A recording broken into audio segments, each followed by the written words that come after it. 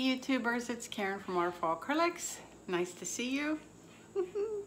I imagine you all in my kitchen hanging out, having a cup of tea.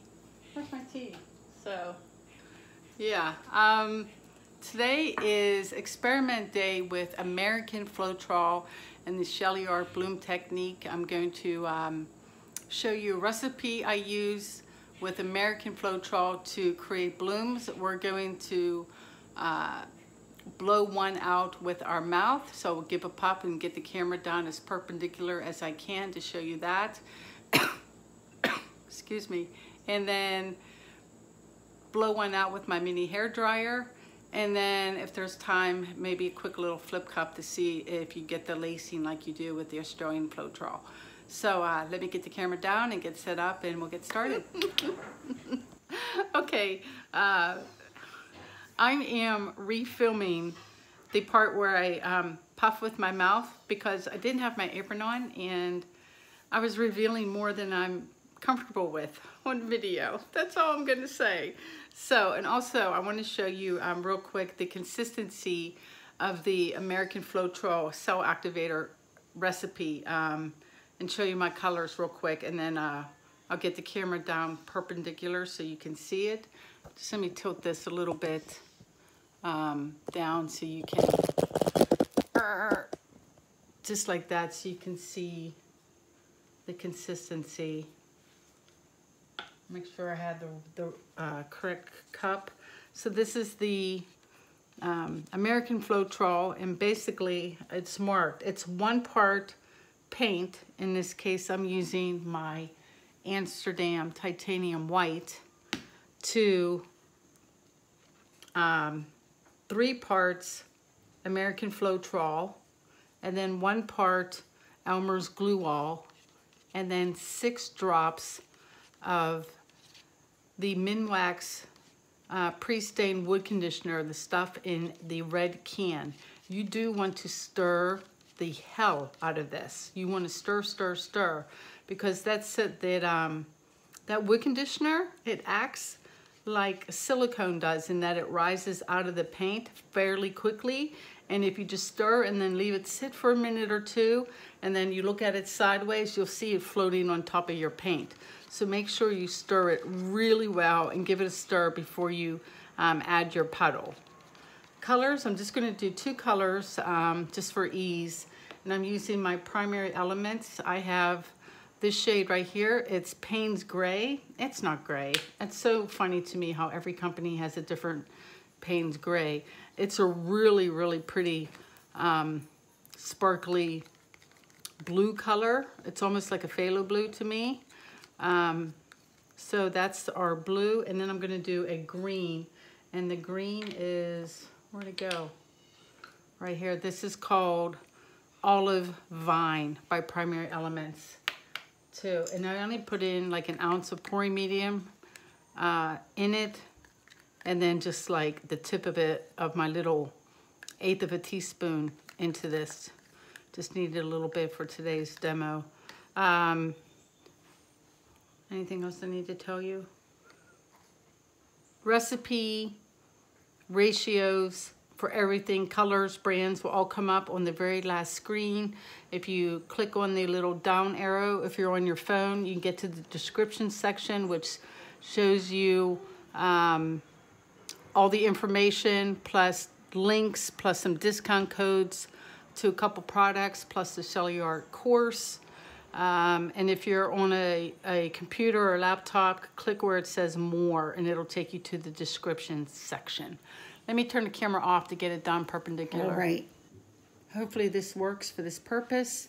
Um, so you can see what I'm doing with my mouth and with my head as I blow into the white, make my circle, widen it, and then as I'm blowing, I'm going to lift up my head um, to um, slowly decrease the force of my puffing onto the paint. So uh, yeah, let's just give it a whirl.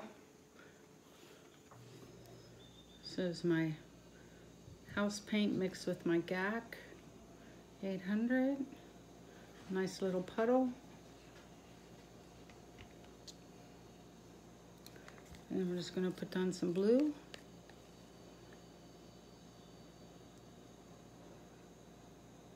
I highly recommend um, the four inch ceramic tiles, the subway tiles for practicing your puffing. Um, to get that down first before you move on to the hair dryer, you'll see in the next segment that I use the hair dryer differently than I do um, for this. This I'm gonna blow straight down. And also, if you're using a larger substrate, you wanna um, make sure your puddles have enough paint in them to reach the edges. I see a lot of people will use a six by six or an eight by eight and use the same amount of paint and then struggle to get coverage on the ed edges. All right, stirring up my uh, cell activator again. Make sure that wood conditioner is mixed in there. And put that in. I want to see it create a bit of a halo effect around the edges of that green. Hopefully you guys can see it. It might be kind of tough. It's more important that you see how I puff though. All right, here goes.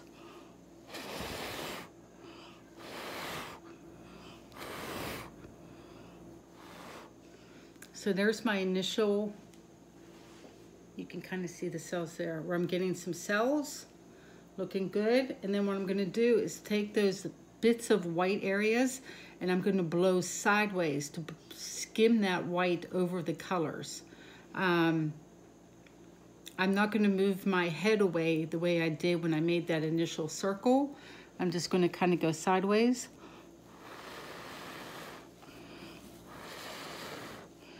And blow it out. Make it easier on yourself. Turn your canvas as you go rather than try to contort your head. Make sure it's not sticking to your thingies. You spin this around. And one thing about um, blowing with your mouth is you can get really specific once you get the hang of it. Um, so like I have a little tiny white area here that I can grab with my mouth that I can never do with the hair dryer and blow it out.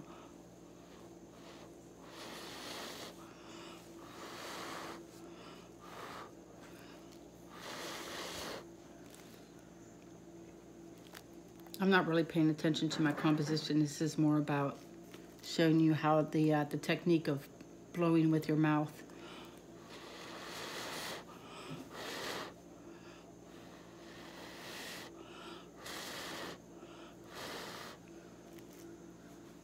Let that all collect. Maybe right here. Skim that over a little bit. Anywhere else? Maybe here?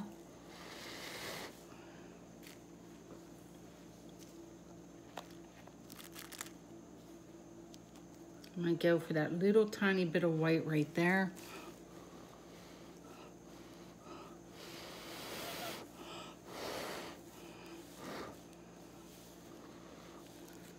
And let that sit. All right, while that's all collecting, let me raise the camera so you can see this straight down. All right, this worked fairly well. I got lacing, I got cells. And then once you just keep practicing that part, part two, um, like I said, I, I always felt like um, the bloom uh, technique is definitely a 201 level um, technique. Um, because now once you get this part down and you get the puffing down, then the next part obviously is the tilting. But for me, this is more about testing out this um, recipe with the American Floetrol. So just for, I'm not going to try to make a perfect bloom. Typically, let me back up, because typically I would go to one corner and then go to the opposite corner. So I'd bring the weight of my paint back. And then I would go to this opposite corner Of course, it's me, so a lot of times I change my mind depending on the composition. I like these colors together. I Bring it back to the middle. I think I'm going to go to this corner here. Hopefully I'm in frame, hopefully. Did that little corner with my thumb. and then bring it back the other way. It's stretching nicely. It's keeping its cell shapes. I like my house paint a little on the thicker side so it runs slower. I feel like I have more control that way. And bring it back. I just want to see, see keep its shape and its lacing, and it is. So, it works. It works fantastic. It just takes a lot of practice with the um, with the puffing technique. So there, there you have it. It works great. I think it'll work even better with the um, hair dryer. So um, let me turn this off and um, we'll try the same thing. We'll do a, um, a test and compare, um, do two blooms, one with the American Floetrol and one with the Australian Floetrol and uh, blow them out with my mini hair dryer and see what we get. I'll be right back. All right, we're back all set up um, to try the same thing with the American Floetrol, this time using the hair dryer. And then um, maybe I'll try Baby Flip Cup to see if we get the lacing as well. So uh, yeah, the experiment day, grabbing my house paint, make my little puddle.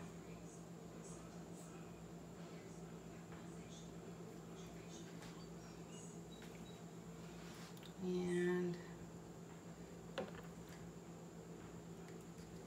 I made up another color um, called Olive Vine, which is a really pretty mossy green color. And I think I'm just gonna do blue and green on this one. I'm kind of color testing. Um, I got my uh, Convexo canvases, um, the ones with the rounded edges. They came in the mail, and so while I'm testing American Floetrol, I'm also kind of color testing for uh, that project. And so I wanted to try this green out. Very rich looking. I do notice too that um, the wood conditioner kind of acts the same as silicone does in that it um, floats to the top of the white. What do I do my cell activator? Um, and that if I look at my white sideways, I can see it. So I definitely recommend to stir the hell out of your uh, Floetrol. Like stir, stir, stir. Like really, really stir a lot with this. All right, so let's go ahead and put down our cell activator, cover up the green, and then uh, we'll just do the two colors and give this um, a puff with the hair dryer, my mini hair dryer. So with this, I don't tend to go straight down first. I tend to just automatically go sideways to cover up the paint. So I do do this a little bit differently than I do with my mouth.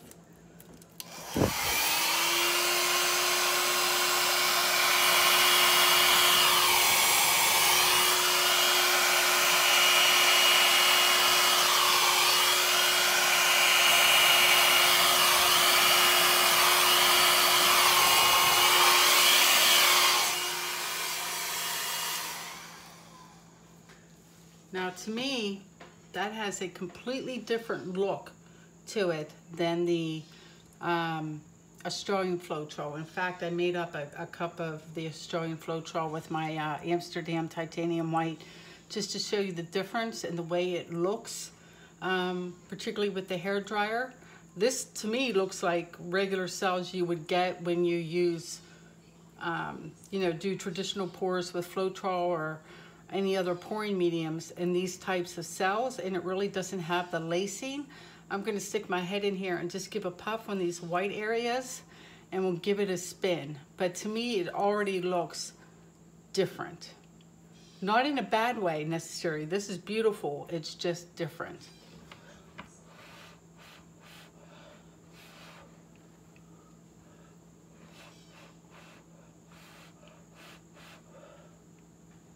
I got one more cell. We'll try in that white spot right there.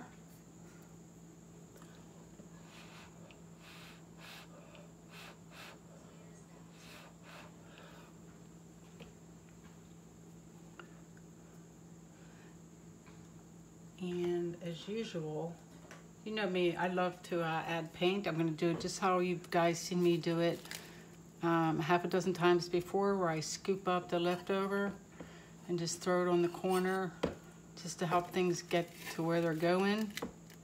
So I'm gonna do it no different this time. And looks like it's collected fairly well. Got a couple more cells. Let's give this a spin. Oh, that's enough. Don't need a lot of spinning. Oh, maybe a little more. Trying to get to this edge here. Let me see if I can get some more paint to put on there to help it along. Right on here. Smush.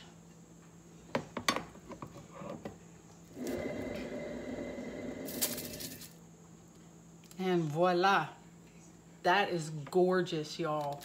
That is the American Floetrol recipe. Way better than the job I did with my mouth, right?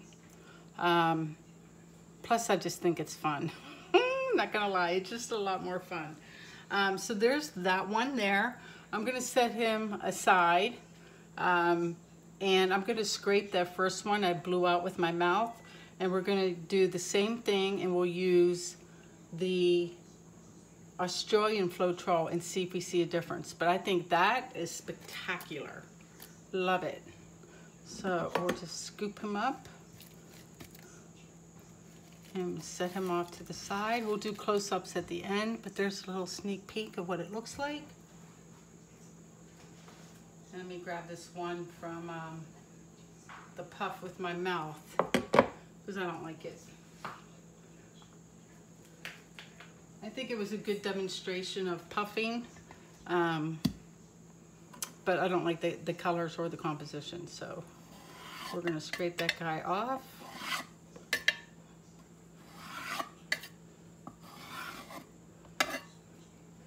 And so, this time, this cup here that's unmarked, this is Australian Floetrol mixed with my Amsterdam Titanium White. This is um, almost a four to one ratio because I wanted it to be the same consistency between this one, let me just set it right there, and my my American version, which has the lines on it right there that you can see. So this is how I know the difference. Plus I use the white stir stick. Um, pretty much identical consistencies between the two. So let's see how the um, how this turns out using this other flow Floetrol. So same deal. I can't remember what color I put down first. I think I did the blue first, right?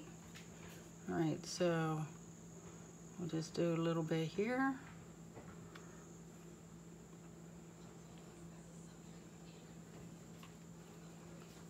And do the blue.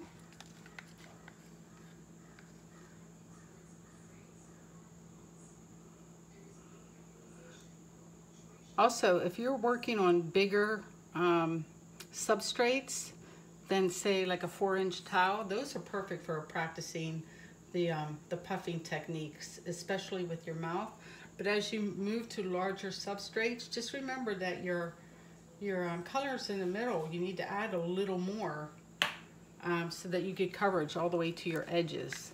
I see that a lot where people are using the same amount of color but have a like a six by six, six by six or an eight by eight, and then um, they're really having to stretch to get uh, to the edges. So make sure you make your puddles a little bigger. Right, there's the green. And make sure I got the unmarked cup. So this is the Australian Floetrol. I'll try to blow it out the same. See how it's making, hopefully you can see where it's making a halo effect in the middle. And then I'm gonna aim for the middle, but I'm not blowing down. I'm gonna blow out and skim it across the colors.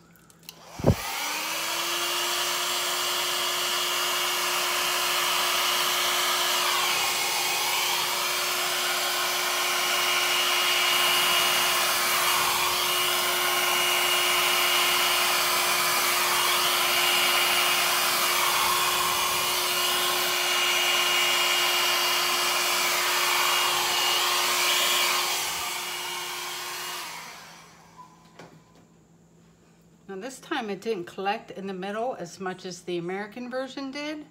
Um, so same deal, I'm gonna puff here. I do want you to notice the difference in this, the, the shapes of the cells though, where the American version looked like traditional cells. Now after we spun it out, it looked more like this, but initially the cells, how they, how they appear are different. Like I can spot a painting made with American Floetrol a mile away, just, just by the shape of the cells. And I'm not saying that it's not beautiful or anything like that. It's just a different shape. That's all I'm saying. So let me puff this here um, in the middle.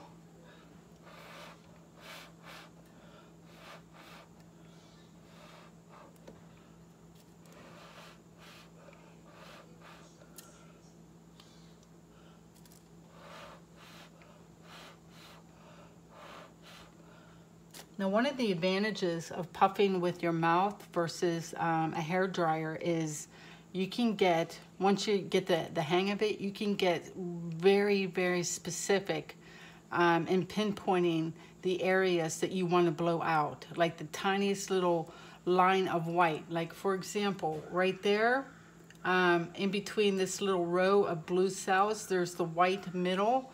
Um, once you get the hang of it with your mouth, you can get really specific and just blow right, pinpoint right there and blow that. And don't worry if you um, distort the shape of your cells, they'll come back. They'll come back as that collects in the middle. So we're just gonna give that a second to collect in the middle. And honestly, so far, I think the, um, the one with the American Floetrol, that recipe is prettier than this one. But we'll see after we spin it out. Maybe nice to have a couple of twinsies. And then we'll do one more experiment and that'll be it because I don't know how long that, that'll make this video. And I don't want to bore you guys. All right, so let's uh, give this a, a spin.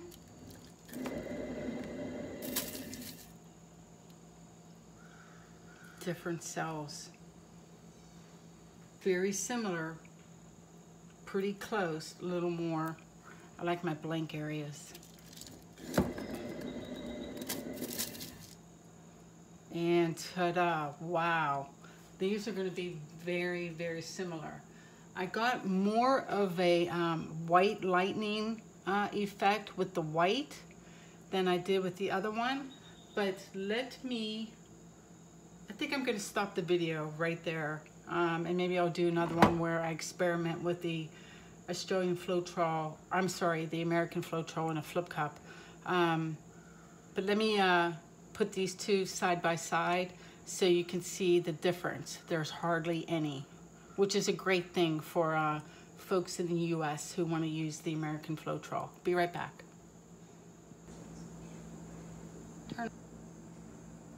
Okay guys, I am super, super excited because I can barely tell the difference between these two. This is number two with the Australian Floetrol, which is the green and the blue. Pretty, right? Here is the mix of American Floetrol. Check it out. They're, they're, they could be a little five inch little diptych as far as I'm concerned. Look really, really great. There's that one. And that one. So I'm gonna push them together. Kind of stick into my canvas. There they are together. Uh, really super thrilled. that means you guys can use this recipe and start blooming. Let me flip around say goodbye. How exciting is that, y'all? Um, I'm gonna post the recipe um, right after this um, with the ratios and everything. Screenshot it, watch this video a couple times, practice your puffing. Um, really, really stoked that this works so, so well. Um, definitely better with the hair dryer. User error with me puffing. It was more about showing you how you get close with your mouth and then pull away and you make that initial circle and then skim out to the sides. Um, can you tell I've been uh, an instructor in a former life because I try to reiterate everything. Anyway, um, that's it for me today. Um, see you guys next time. Y'all take care. Bye-bye.